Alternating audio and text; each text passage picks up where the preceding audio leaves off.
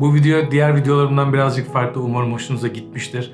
Bunu bir seri haline getirmek istiyorum. Bu videoda doğal ışığı kullandık. İleriki videolarda masa ışığıyla, gerçekten şu arkamda gördüğünüz masa ışığıyla nasıl ürün fotoğrafı çekebilirsiniz onları göstereceğim.